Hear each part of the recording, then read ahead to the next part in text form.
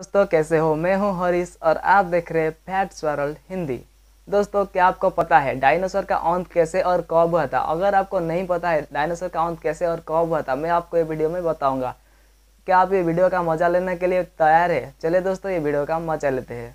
दोस्तों, आज के वीडियो थोड़ा लंबे और मज़ेदार होने वाला है। आप ये वीडियो का पूरा मज़ा लेना चाहते हो तो ये वीडियो को पूरा देखिए। अगर थोड़ा थोड़ा मज़ा लेना चाहते हो, फ़ोन आपके हाथ में है बीच बीच में स्किप कर दीजिए। एक समय में इस पूरी दुनिया में डायनासोर का राज था। ये चलते थे जहाँ हम चल रहे हैं। इसी हवा में साँसें ली और इसी धरती पर लड़ाइयाँ लड़े।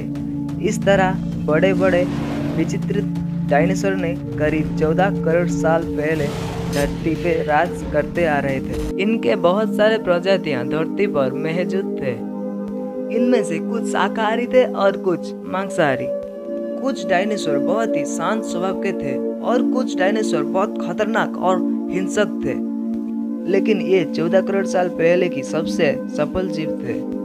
लेकिन ऐसा क्या हुआ? आखिर ये डायनासोर का प्रजाति कहाँ विलुप्त हो गए? और ऐसा कौन सा घटना थी जो डायनासोर का नाम और निशान मिटा दिया? इसे जानने के लिए हमें समय में बहुत पीछे जाना होगा। आज से करीब छह करोड़ पचास लाख साल पीछे जाना होगा और डायनासोर के उस अंतिम दिन को करीब से देखना होगा। तो आइए चलते हैं। 65 मिलियन साल, यानी कि छह हज़ार पचास लाख साल पीछे आज से करीब साढ़े छह करोड़ साल पहले धरती का मौसम काफ़ी सुहाना था। चारों ओर सूरज की रोशनी बिखरी हुई थी। बड़े बड़े पेड़ों से टकराती है ये समंदर की ठंडी हवा है। और सिर्फ़ यहाँ डायनासोर की खूनखार आवाज़ सुनाई दे रही थी। डायनासोर के अलावा और भी एक प्रजाति था, जो आकार में बहुत ही छोटा था और वो आज की चूहे जैसा दिखता था। असल मायनों में ये हमारे प्राचीन पूर्वज थे और आगे जाने के हम इनसे विकसित होने वाले थे। और ये थे मामल्स। दोस्तों, इनसे हमारा जन्म हुआ था। कैसे और कब हुआ था, मैं आपको नेक्स्ट वीडियो में बताऊँगा। अगर आप चाहते हैं कि हम इस वीडियो को जल्दी के जल्दी आपके पास लेकर आए तो आप हमें कमेंट बॉक्स में ज़रूर बताएँ। धरती पर सारे डायनासोर प्रजाति बड़े ही आराम से अपने जीवन बिता रहे थे। तो अब दस करोड़ साल पहले इनकी किस्मत लेखी जा चुकी थी, क्योंकि दस करोड़ साल पहले एक छोटा एस्ट्रॉइड का टुकड़ा जो सुदूर अंतरिक्ष से आ रहा था, वो पृथ्वी से लगभग 20 करोड़ माइल दूर मंगल और बृहस्पति के बीच बने एक क्षुद्र ग्रह बेल्ट में घूम रहे एक बड़े एस्ट्रॉइड से जाकर धक्का हुआ। इस टकराव से उस बड़े एस्ट्रॉइड की दिशा बदल जाती है और वो खुद ग्रह बेल्ट से निकल कर सीधे पृथ्वी की ओर 22 मील प्रति घंटे की रफ्तार से बढ़ने लगता है। जो भी एस्ट्रॉइड पृथ्वी से तीन लाख चौरासी किलोमीटर की दूरी पर था, तब से ये शायद डायनासोर का अंत ना होता यदि ये एस्ट्रॉइड पृथ्वी के उपग्रह चंद्र से टकरा था लेकिन ऐसा नहीं हुआ, क्योंकि नियति को कुछ और ही मंजूर था, इसीलिए ये बड़ा एस्ट्रॉयड चाँद की बहुत नज़दीक से गुजरा गया।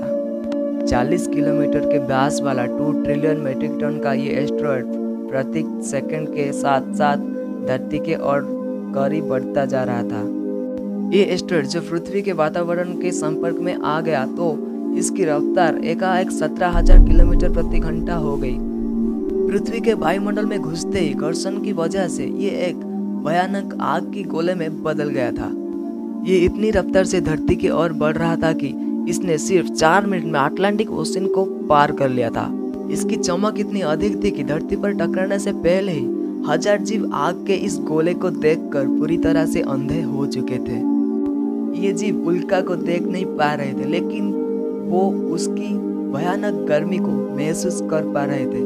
कुछ क्षण में ये एस्ट्रॉइड मैक्सिको की घड़ी के पास ज़मीन से टकराता है। और एक ही भयानक विस्फोट होता है। ये विस्फोट इतनी शक्तिशाली था, ये आज की दस हज़ार हाइड्रोजन बम के बराबर था। और इसके टकराते ही धरती के लाखों मेट्रिक टन धातु अंतरिक्ष में चला जाता है।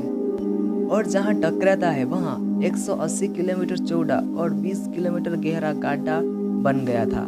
विस्फोट के कारण इस गड्ढे का सारा मेटल और पत्थर आसमान में धूल के बड़े बादल में बदल गए। 16 मिनट 40 सेकंड बाद ज़मीन टकराव की वजह से धरती के अंदर चारों ओर ग्यारह दशमिक तीव्रता की भूकंप तरंग उठने लगी। इस वजह से समुद्र के विशाल काय लहरों का निर्माण हुआ और इसकी थोड़ी ही देर बाद सुनामी की लहरें धरती के चारों ओर बढ़ने लगी। भूकंपीय तरंग ने सभी सक्रिय ज्वालामुखियों को देखा दिया, जिसके कारण जगह जगह डायनासोर का विनाश शुरू हो गया। धरती के महाविनाश की प्रक्रिया आरंभ हो चुकी थी। इस विनाशक विस्फोट में रेडियस की मात्रा इतनी बढ़ गई कि इसके 800 किलोमीटर के दायरों में आने वाले सभी जानवर जलकर पूरी तरह से राग हो चुके थे। इस महाविनाश में उड़ने वाला डायनासोर इन जमनी खतरों से तो बच निकला, लेकिन ये तो महाप्रलय की बस शुरुआत मात्रा थी।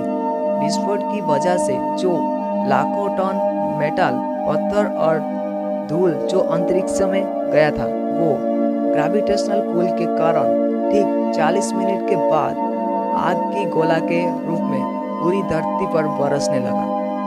साथ ही धूल की एक बहुत बड़ा तूफ़ान 6000 प्रति घंटा की रफ्तार के पृथ्वी की दूसरी तरफ़ मौत लेकर आ रहा था। ये धूल के बादल कई किलोमीटर मोटे थे, जिसकी वजह से सूरज की रोशनी धरती पर पहुँच पाना नामुमकिन था। गर्म हवा की तापमान 100 डिग्री से ज़्यादा होने के कारण धरती पर पेड़ पौधों की सारी आबादी जलकर राख हो चुकी थी विस्फोट की 90 मिनट बाद धरती का तापमान 200 डिग्री तक बढ़ गया इसकी वजह से जो डायनासोर विस्फोट के इलाके से कोसों मील दूर थे वो भी इस गर्म से बच नहीं पाए इस महाप्रलय से धरती के कुल आबादी 90 प्रतिशत पूरी तरह खत्म हो गई थी और जो 10 प्रतिशत जीव धरती पर बच गए थे उनमें से भी सिर्फ़ वही जीव ज़िंदा रहे, जिनका वज़न 30 किलोग्राम से कम था। इसके कारण ये था कि लाखों संख्या के जीव मारे जा चुके थे और पेड़ पौधों की सारी आबादी जलकर राख हो चुकी थी, जिसके कारण ये जो बड़े विशालकाय जीव बच गए थे, उन्हें भरपूर मात्रा में खाना पीना ना मिल सका। लेकिन ये महाप्रलय किसी अन्य जीव के लिए फ़ायदेमंद होने वाला था। और दोस्तों, वो प्रजाति थे मामल्स। मामल्स क्या थे कैसे बचने के लिए इस महाप्रलय से और डायनासोर की अंत के बाद मानव का जन्म कैसे हुआ, ये जानेंगे एक नई वीडियो में।